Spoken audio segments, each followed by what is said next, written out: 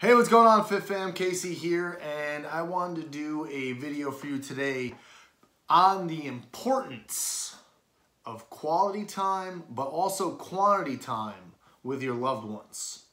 Okay, before we get into this video, I think uh, I need to address the elephant in the room, and that is my nice shiner here uh, that I received uh, by a rogue elbow in Jiu-Jitsu. Um, I'm fine, it doesn't hurt. Um, it's just I'm not going to be able to do any of my modeling gigs uh, until this is gone. Um, luckily, I don't have any modeling gigs that I had to cancel. So, anyhow. Um, so, let me tell you first um, where this video kind of sparked or where it came from. I heard a stat not too long ago that the average parent spends 22 minutes a day, like actively engaged with their kids. And that's horrible.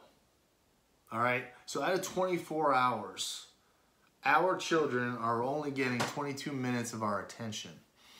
And uh, there's a lot of reasons for that. And that kind of led me to, all right, let's say I'm that guy let me say let me say that I am only getting 22 minutes a day with my child. How can I increase that? And I think there's a lot of opportunities in our lives to increase that. And maybe we just don't see them or we overlook them. So that's why I wanted to first talk about quantity time.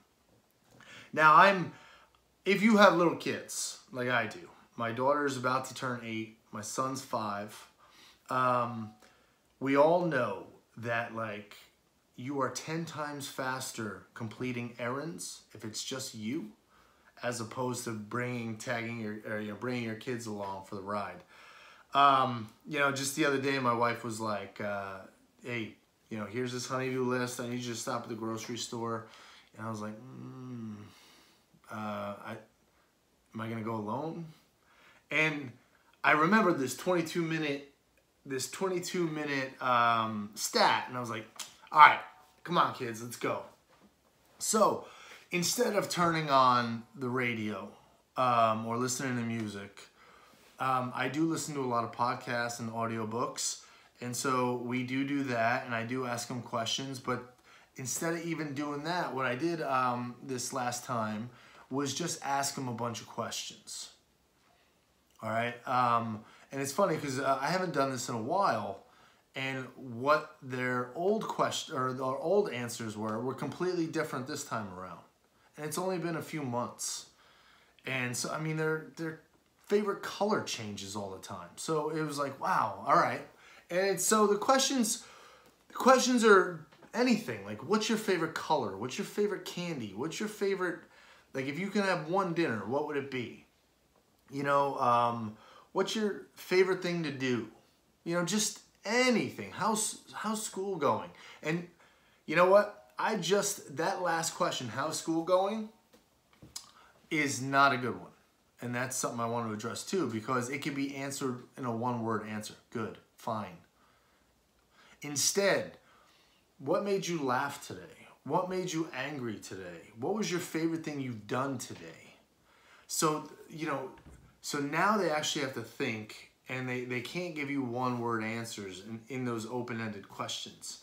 And so it, it's really eye-opening. And so if so I probably doubled or tripled the average time just by doing this on the way to the grocery store and on the way home. Okay? So this is just something you can do at any point. You're driving the kids to school, you're picking them up from school, you're driving them to the, whatever their activities are. Uh, like I said, we listen to a lot of podcasts um, and audiobooks, and that which is kind of a a pain, but it's it's also great because now there's certain audiobooks that my daughter has gotten into, and she's like, "Hey, you you can't listen to this until I'm in the car." Great. so so I have to wait to continue you know the book that I'm reading so I have to like find another one uh, another one that like maybe uses foul language that she wouldn't be allowed to listen to or something else, another topic that I know she wouldn't be really interested in. But so now like I'm listening to multiple books at one time.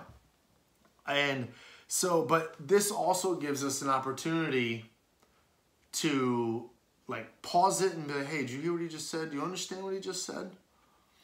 Uh, and and now she can kind of like formulate these thoughts and ideas based upon these books, these podcasts, and then what I say. And it's really neat. I don't know if you guys have watched any. Uh, we've only done a few. My kids are always asking me um, business questions. They're, they really. I think once you open up uh, the floodgates to um, allow them to ask questions, they will. And at, at, least my kids do, and they're always asking questions. So a lot of times in the car, like, Dad, I have a business question. I'm like, oh, hold on, let me let me record this, and I have no idea where it's gonna go. But um, a lot of times they have amazing questions, and the fact that their brains are just trying to figure this out. So this is the idea, and I wouldn't necessarily call this quality time. Although it started as quantity time, maybe it is turning into quality time. Um, but it started out as just me hearing a stat and saying like, look, I personally feel I don't, like, they didn't take me into con consideration with that average. I feel like I'm way more involved uh, than, than 22 minutes. But that's the average. How can I bring that average up? So let's say I am that guy. How do, how do I increase that? So let's stop listening to music. Let's talk more. Let's listen to a book and then talk about the book or about the podcast.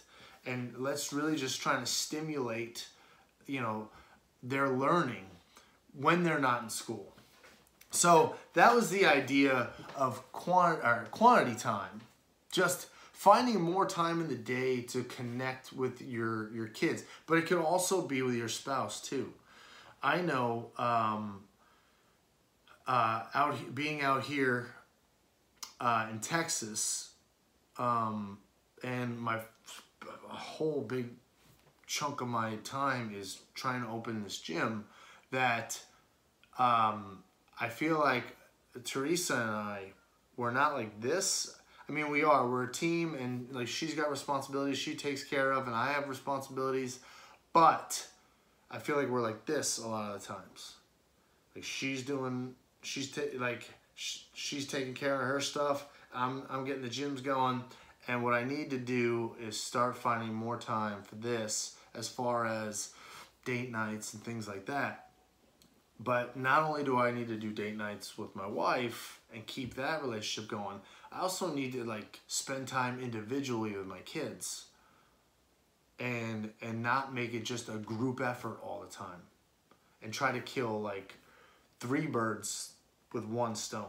All right? So that's where qual quality time comes in. All right, and now I don't know if you can see this picture behind me. This was also like a kind of a mind blower for me, but my daughter Charlotte tends to, she loves to draw and she tends to draw the same things over and over again. So I wanted to spark kind of a, or challenge her by saying like, hey, why don't you draw one of your favorite times that you've had with me? And so I know that's really far away and it's really hard to see, but it was actually, that's actually a picture of a campfire and with a tent, and behind it is a lake. And we had gone camping with some friends uh, a, a while ago, and that was her favorite time. And I was like, man, I had no idea. So that's now it's something like, all right, I know that's where her interests lie, and that's really neat. So I need to kind of like continue to do those sorts of things. And now I got to find out what my son really likes that we do so that I can keep doing that with him. And so it's just kind of like this you have to look inward and say to yourself, Am I being the best parent, the best spouse I can be? And um, I know personally there's a lot of area for improvement on my behalf. And I think um, uh, I can definitely step up in both the quantity time and the quality time, especially when it comes to my relationship with my wife. Um, I think I think individually we both spend more time with the kids than we do each other.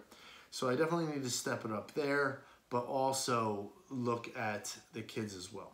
So just some food for thought, guys, something to kind of stimulate your brains because I've said this before, like my ultimate goal for everyone in our Fit in 42 universe is for them to create and strengthen like their their relationships with their loved ones and create more experiences with their loved ones and never letting their confidence but also like their physical body as a, like as far as their strength and their cardiovascular system and everything be a reason be be a reason they cannot